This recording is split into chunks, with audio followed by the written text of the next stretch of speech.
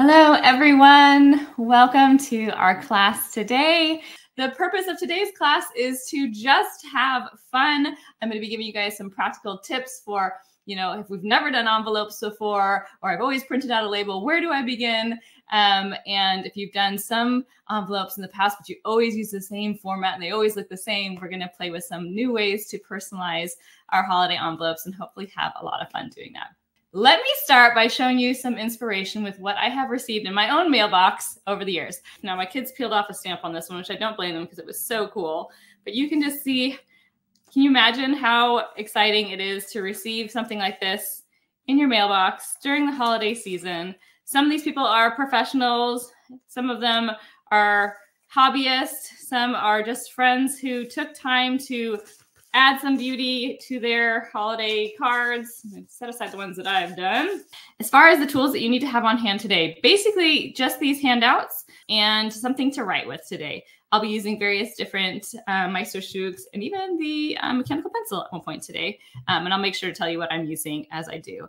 Now, this page is here because as we've studied the different scripts, or if you've done the copperplate series with me, or American cursive, or architectural handwriting, I didn't go a ton into the numbers. So I'm going to, we'll take a few minutes just to go over the copperplate numbers in particular.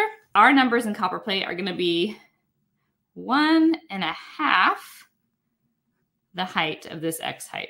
With American cursive, our numbers are typically smaller. And so it's about the size of the X height. So the same size as the majority of your lowercase letters. For architectural handwriting, our architectural letters are going to be, uh, or numbers about the same height as our capital letters. Now for block printing, I actually use these same number styles with architectural sometimes. So this is just another style there for you to play with. So with that in mind, I'm going to just show you, I'm not going to go through all of these, but I'm going to give you a quick rundown of kind of some of the important elements that I'm thinking about with these copper plate numbers the first S that I want you to pay attention to is size, which we already talked about. The second S is going to be slant. So this number one has a gentle up curve. It comes down on the slant. If you were wanting to add that faux calligraphy element, that is a downstroke. So we would make that a little bit thicker. The two is one of my favorites. I feel like it is so graceful. And I'm going to demonstrate the two. Let me do it a little bit larger for you with our numbers, I like to think of all of them kind of fitting into this large oval shape. If we think of that too, fitting in within an oval, that slant comes over. Here's kind of the slant of that middle stroke. It's going to come over quite a bit further to make it look like it's sitting up a bit more straight. The three has this little kind of a miniature two at the top of it. If you think I'm going to do it large again. So almost like you're doing that number two portion of it.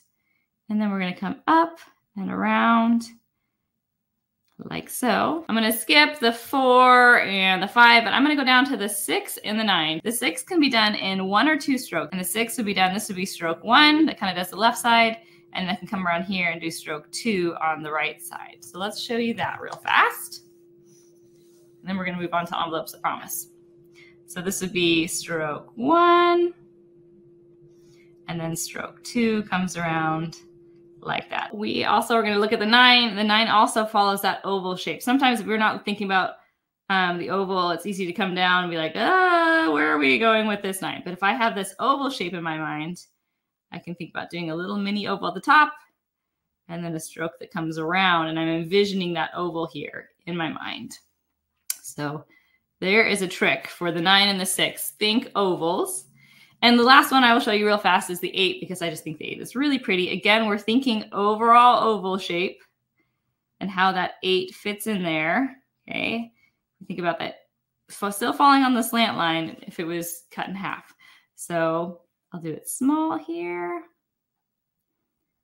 And you, this upper portion is optional, but it's another fun way that if you're doing a zip code, kind of having this flag that waves up at the top can be a really fun embellishment.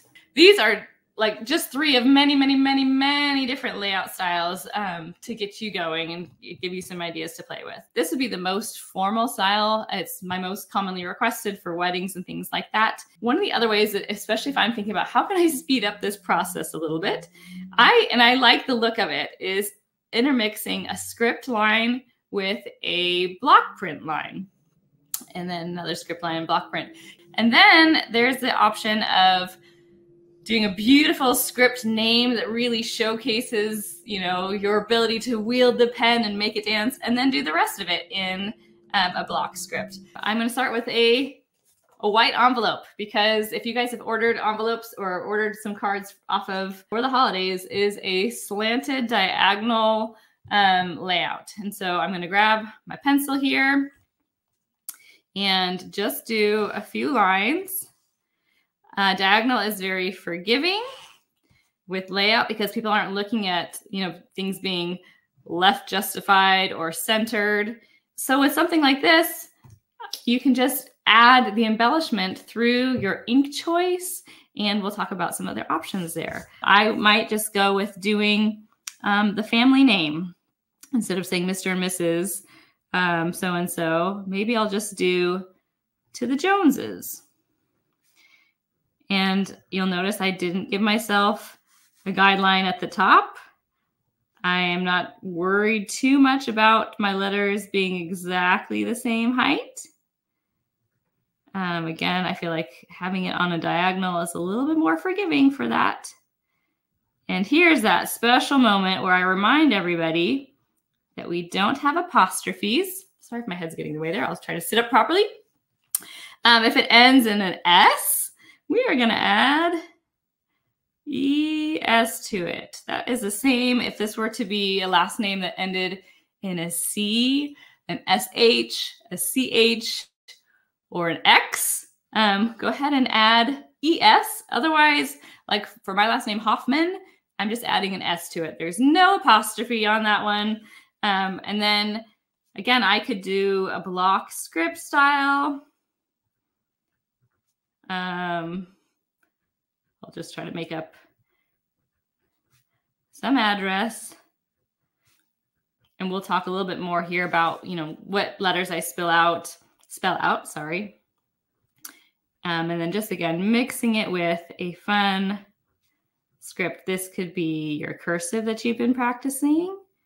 And I have received a beautiful note from um, some of you all. And I appreciate that. I, I don't share my address very much. Um, so I apologize. I actually did receive a request from somebody and I've been looking for their email. And I'm sorry if I haven't got back to you because I cannot find your email. So sorry about that. Um, I do I have thought about opening a P.O. box um, in the future, but I'll let you guys send mail to your friends and family for now. Um, so this could be North Pole, Alaska, wherever you're sending it to, and then your zip code down here. Um, so really playful. It looks fun having the red and the white. You've got some candy cane action going on here. And then you could embellish it with some really fun stamps, something like that. Okay. Here is a guideline that I have made that's um, designed for an A7 envelope. There's the dimensions there which is a pretty standard um, size of envelope. Each one of these layouts up here at the top of your page, it has a different symbol, whether it's a delta or I guess it's an, maybe an omega or a heart. If you wanted to do, let's say, um, the centered option here, we're going to look for that delta symbol um, real fast. Already nicely spaced for you. Okay. And there's also very, very faintly right here, a center line. Mr. I'm going to try to start at least an inch or maybe like three fourths of an inch from the left side of my envelope. And I'm going to kind of eye air right above. You know, Mr. takes about that much space. A little space between letters. Okay, Adam, space, Baker. And then I see where my left finger is and my nib is, and I'm going to kind of center it, shift them both at the same time. And then when I write it, here's my little hack. Let's see if I can zoom in again for you guys. I am not going to flourish very much at the very beginning. Mr. I'm going to just do this all in a monoline style. Adam Baker. In fact, this year, if I get around to my Christmas cards. I will probably be doing them in the American cursive style that we just finished going over. All right. not terrible, but also not perfectly centered. So I can see I actually need a little bit more going on over here. And that's where doing my flourish after the fact kind of helps me balance that out. Now, if I realize I needed to do a bit more over here, um, I could have stopped that R earlier and we can flourish on that end. So hooray for flourishes. They fix a world of errors. For the zip code, when centering, I start with the middle number first. Then I do the first one. And sometimes I, if it, it lines up nicely with either the top line or the middle line, um, I will do that just to kind of make it look like the design is really meant to go together. And then I fill in these two in between. So that helps me to space my zip code nicely. And I did these letters a little too large, but, or numbers, sorry. And adding these little dots between adds that touch of formality and it looks really pretty. Curated set from a gal named Rebecca from Flourish, flourishfinewriting.com. She sent these. Um, and she curates sets that are already like an all the face value that you would need to send um, a holiday envelope. If we wanted to do um, maybe this, where we're doing uh, the mixed script. Now, this envelope is smaller um, than this, so you could just center it wherever you want these lines to be. So that's a helpful thing to keep in mind is that when you're doing your envelope layouts, you don't want your address to be too far to the bottom and be really bottom heavy. So I try to center my addresses on the envelope so it's not really bottom heavy. For the zip code, when centering, I start with the middle number first. Then I do the first one. And sometimes I, if it, it lines up nicely with either the top line or the middle line, um, I will do that just to kind of make it look like the design is really meant to go together. And then I fill in these two in between. So that helps me to space my zip code nicely. And I did these letters a little too large, but, or numbers, sorry.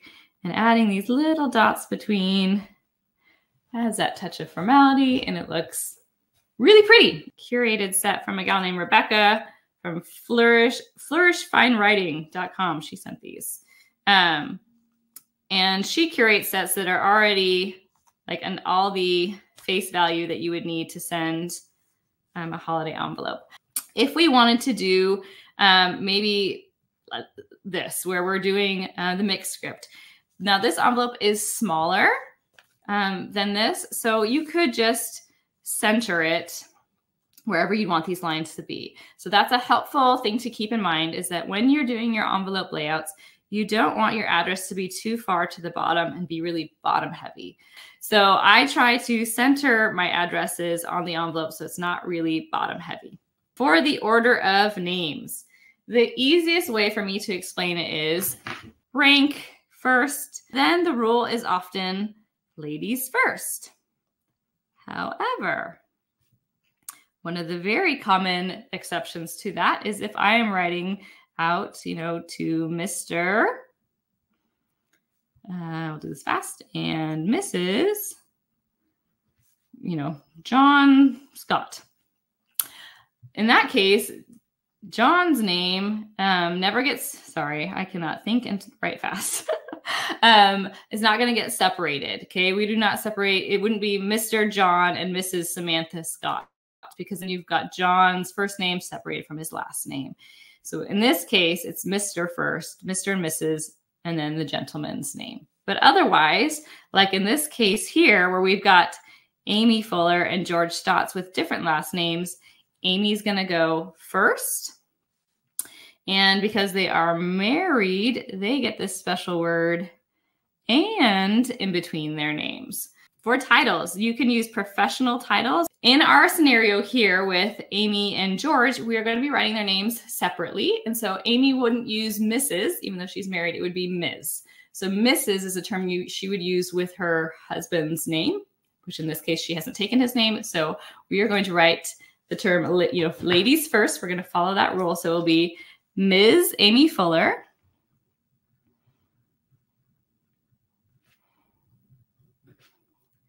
I gotta write faster.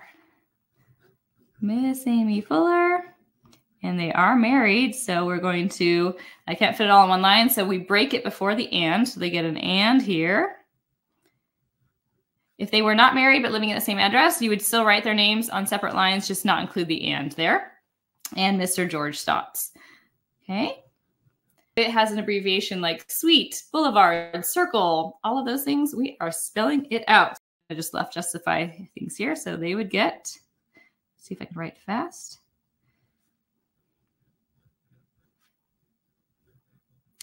Walnut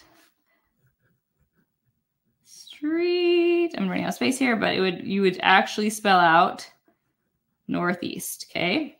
And apartment numbers. They have an apartment number as well. Apartment number spell out all on its own really helps those not get um, you know, sorted incorrectly. Apartment. Now here is one of the few scenarios where I would break that rule of spelling out the numbers because again, we're trying to help somebody um, have it find its location. So for apartments, I would use the, the numerical number. Hope you guys enjoy the opportunity to um, think about ways that you can embellish your envelopes. I would love to see what you all create. And um, I'm wishing you all the warmest, happy holidays. And we'll see you in the new year.